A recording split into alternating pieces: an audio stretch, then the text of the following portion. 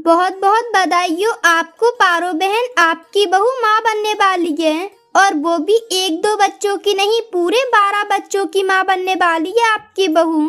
अब आप जल्दी से अपना मुँह मीठा करो और सबका मुँह मीठा करवाओ। मुझे पता था, मुझे पता था मेरी बहू ज़रूर माँ बनेगी और हमारे घर में भी बच्चे होंगे। मैं सबका मुँह मीठा ज़रूर करवाऊँगी। रानू चिड़िया की शादी को हुए काफ़ी साल बीत गए थे, पर अभी तक उसके पास संतान नहीं थी। रानू चिड़िया के परिवार में उसकी सास पारो और उसका पति आकाश रहता था।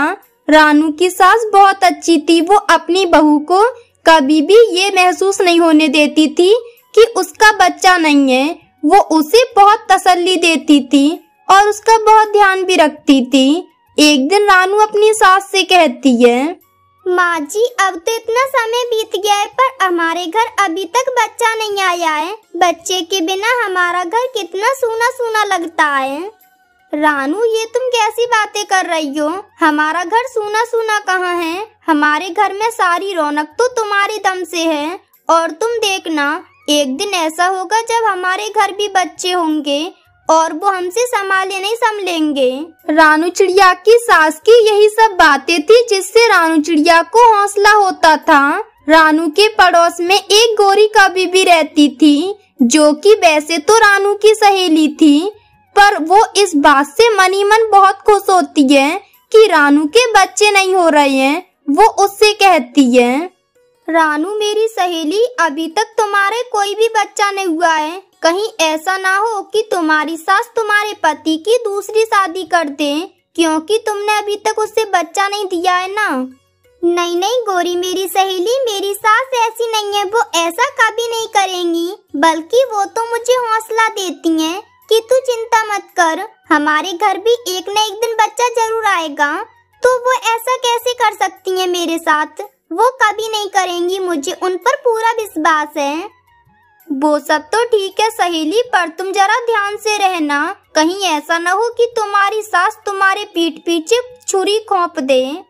वो गोरी को भी चिड़िया से ऐसे बातें कर रही थी। पीछे बैठी उसकी सास सारी बातें सुन लेती है तो वो गोरी से कहती है, गोरी, मेरी बहू तुम्हारी बातों में कभी नहीं आएगी। तुम उसे चाहे कितना भी भड़का लो। अरे, मैं उसे अपनी बेटी की तरह मानती हूँ। तो मैं अपनी बेटी के साथ ऐसा भला क्यों करूँगी? और वैसे भी तुम उसका छोड़ो, अपना बताओ। तुम तो खुद अपनी सास को छोड़कर दूसरे ही दिन अपने पति के साथ नया घोंसला बनाकर रहने लगी। अपना पता नहीं दूसरों से ऐसी बातें करती हो। माँ जी, तुम यहाँ से घर चलो। मैं इस कवि की बातें ऐसे नहीं सुन सकती। मैं तुम्हें अपनी माँ जैसा मानती हूँ तो मैं भला ऐसा क्यों सुनूँगी? आप चलो यहाँ से। ये कहकर वो रानू अपनी सास को लेकर वहाँ से चली जाती है। तब वो गोरी को भी कहती है, इन सास बहू की जोड़ी पूरे जंगल में सबसे अनोखी जोड़ी है। फिर ऐसे ही दिन गुजरते जाते हैं। एक दिन रानू चिड़िया जब खाना बना रही थी तो उसे अचानक से चक्कर आ जाते हैं और वो नीचे गिर जाती है। तब उसकी सास कहती है, बेटा बेटा देख तो ये अचानक से रानू बहू को क्या हो गया? चल जल्दी से इसे डॉक्टर के पास लेकर चलते हैं। हॉस्पिटल में जब इसका चेकअप होगा तो अच्छे से पता चल जाएगा। नहीं नहीं, माँ, मुझे कुछ नहीं हुआ है। मैं ठीक हूँ, बस थोड़ा सा चक्कर ही तो आ गया है ठीक हो जाऊँगी अभी मैं। कहीं जाने की कोई ज़रूरत नहीं है। बहू, मैं ऐसे परेशान कैसे ना हूँ? अरे, तुझे पहली बार ऐसे चक्कर आए हैं। आज तक तो कभी नहीं आए। बेटा, तू जल्दी से इसे हॉस्पिटल लेकर चल। अपनी माँ की ये बात सुनकर आकाश चिड़ा जल्दी से रानू को हॉस्पिटल लेकर जाता है। जब वहाँ बुलबुल डॉक्टर रानू का चेकअप करती है तो वो उनसे कहती है बधाई हो आप सबको, आपकी बहू माँ बनने वाली है। बुलबुल डॉक्टर के मुँह से ये सुनते ही उनकी खुशी का ठिकाना नहीं रहता। वो तो बहुत खुश होते हैं। तब वो रानू की सास कहती है देखा, मैं ना कहती थी कि हमारे घर भी बच्चा ज़रूर आएगा। एक न एक दिन हमारी बहू माँ ज़रूर बनेगी। और देखो, अब वो हमारा सपना जल्दी पूरा होने वाला है। माँ जी, ये सब आपकी दुआओं की वजह से हुआ है। बेटा, अब तू अपनी बहू का बहुत ज़्यादा ध्यान रखा करना। इसके लिए रोज़ाना ताजी ताजी फल लेकर आए करना। मैं अपनी बहू को अपने हाथों से जूस बनाकर पिलाया करूँगी और इसका बहुत ध्यान रखूँगी। ताकि बच्चा हमारा अच्छा पैदा हो, खूब मोटा ताजी हो।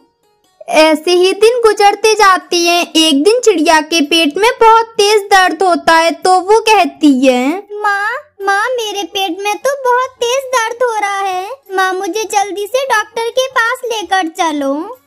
रानू, बेटी, अभी तो अंडा बाहर आने का समय नहीं आया। फिर ये दर्द कैसे शुरू होने लगा? ये कहकर रानू की सास और उसका पति दोनों उसे हॉस्पिटल लेकर आती हैं। जब बुलबुल डॉक्टर उसका अच्छे से चेकअप करती है तो वो कहती है, आपको परेशान होने की कोई ज़रूरत नहीं है। आपकी बहू ठीक है। वो क्या है ना, आपकी बहू के पेट में पूरे बारह अंडे हैं, इसलिए इसके थोड़ा दर्द हो रहा है। लेकिन आप इसका पहले से ज़्यादा ध्यान रखना। भगवान, आपका लाख लाख शुक्र है जो आपने एक ही बार में हमें इतनी सारी खुशियाँ दे दी, एक ही बार में हमारा घर भर दिया।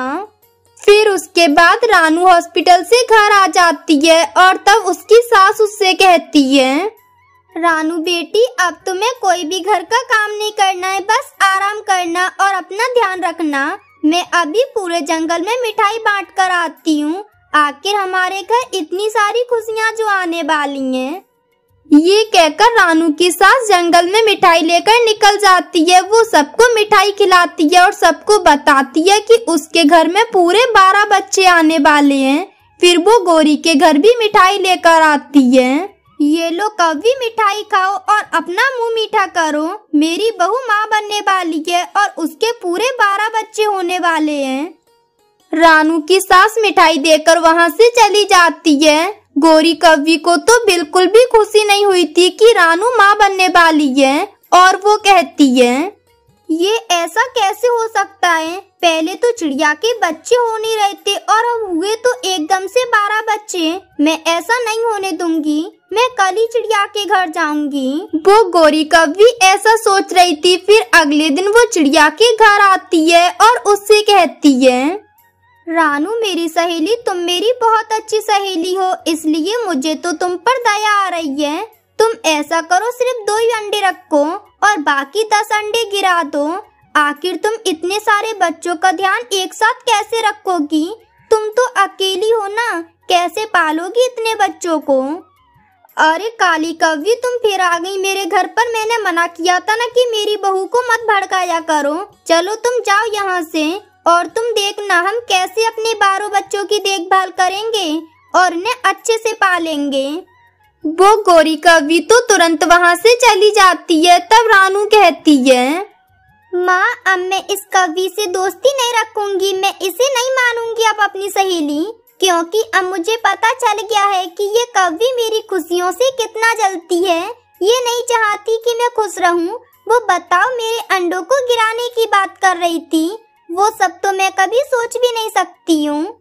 ऐसे ही कुछ दिन बीत जाते हैं और रानू चिड़िया के घर में पूरे बारह बच्चे आ जाते हैं। उन बारह बच्चों को देखकर तो वो सब बहुत खुश थे और उनके घर में बच्चों की फुलकारियाँ गूंज रही थी। इस तरह वो सभी अपने बच्चों के साथ खुशी खुशी रहने लगते हैं।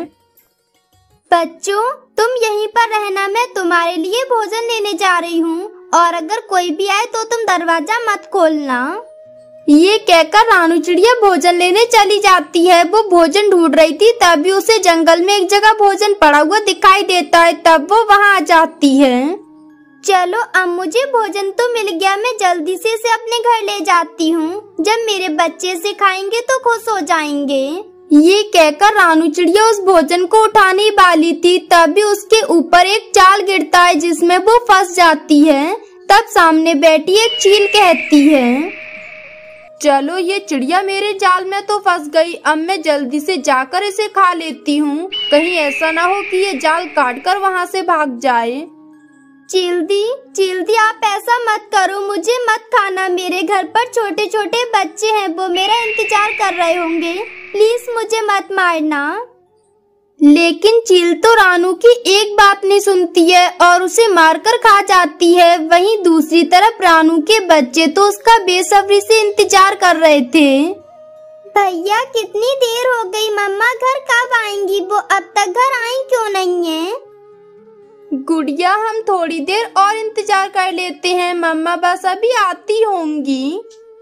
सुबह से शाम हो जाती है, लेकिन रानू अभी घर पर नहीं आई थी। उसके बच्चे तो अपनी मम्मा को पुकार रहे थे और उसका इंतज़ार कर रहे थे।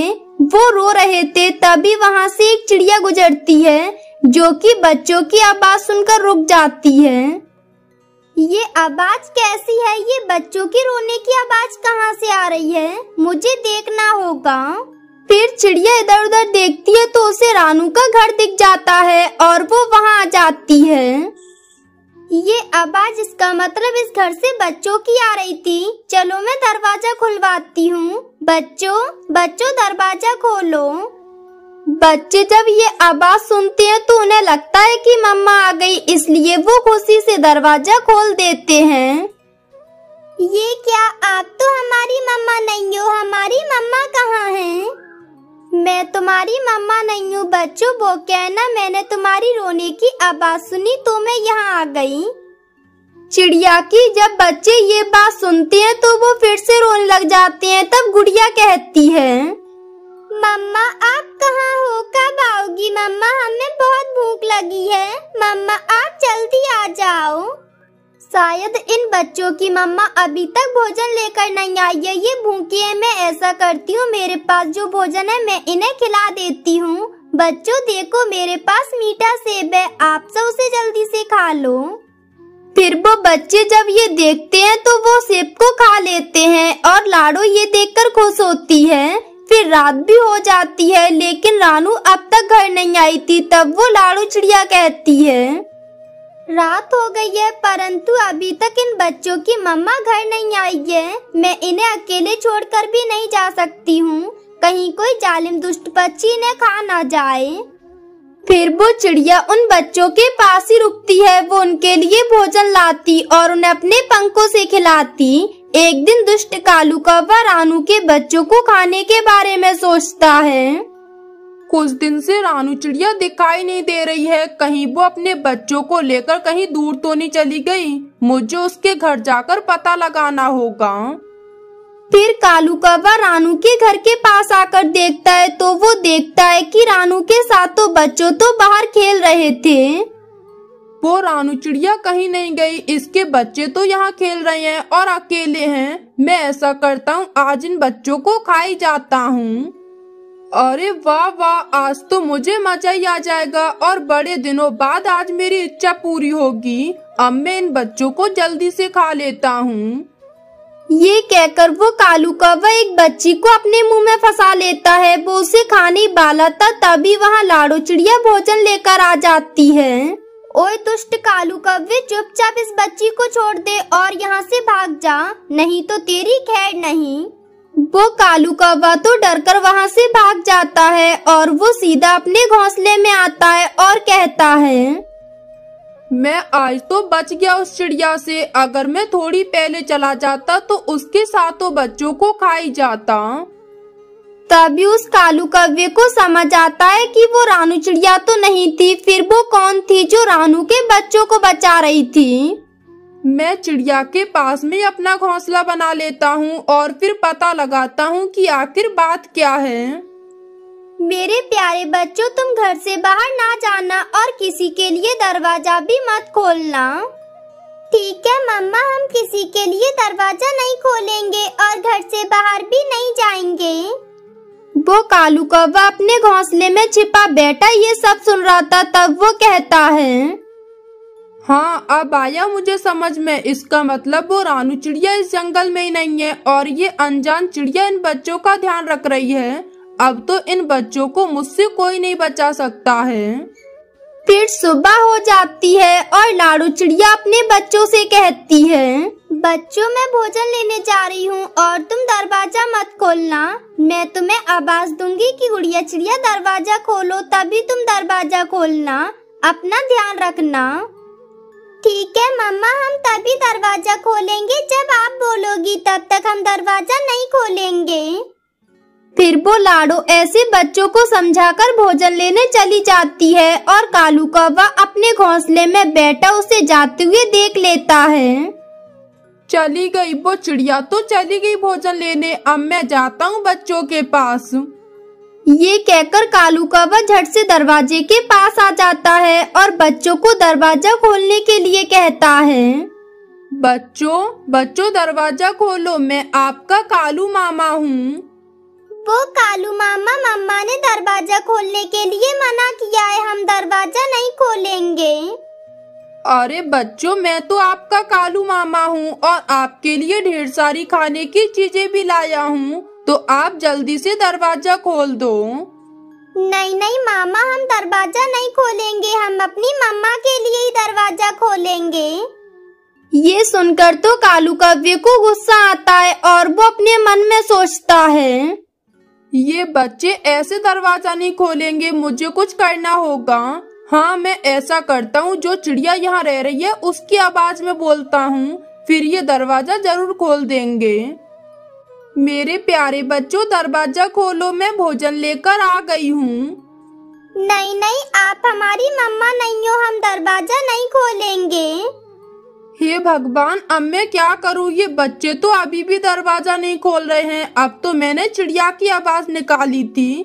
अब वो चिड़िया भी भोजन लेकर आती होगी। ये दरवाज़ा क्यों नहीं खोल रहे हैं? वो कालू कौवा गहरी सोच में पड़ जाता है कि ये बच्चे दरवाज़ा क्यों नहीं खोल रहे हैं? तभी उसके दिमाग में एक आइडिया आता है। हाँ हाँ दरवाज़ा खुलवाने के लिए मुझे याद आ गया। अगर मैं रानू चिड़िया की आवाज़ में दरवाज़ा खुलवाऊँगा तो बच्चे दरवाज़ा ज़रूर खोल देंगे। वो कालू कौवा रानू की आवाज़ निकालने वाला था तभी उसे लाड़ो चिड़िया आती हुई दिखाई दे जाती है तब वो वहाँ से भाग जाता है। और लाड़ो चिड़िया आकर दरवाज़ा खुलवाती है। गुड़िया बेटी दरवाज़ा खोलो मैं लाड़ू चिड़िया हूँ। लाडू का नाम सुनते ही गुड़िया झट से दरवाज़ा खोल देती है और फिर वो अपने बच्चों को भोजन खाने के लिए देती है तब वो कहती है ये कालू कौवा इन बच्चों को खाने के लिए इन पर नज़र रख रहा है। मुझे इसका कुछ तो करना ही होगा। अगर मैंने इसका कुछ नहीं किया तो एक दिन ये इन बच्चों को खाई जाएगा। फिर लाड़ो चिड़िया भोजन लेने चली जाती है। तब कालू कौवा उसके दरवाजे पर आ जाता है और इस बार वो रानू की आवाज़ निकालता है। बच्चों, मैं आ गई हूँ। आपकी रानू माँ, जल्दी से दरवाज़ा खोलो।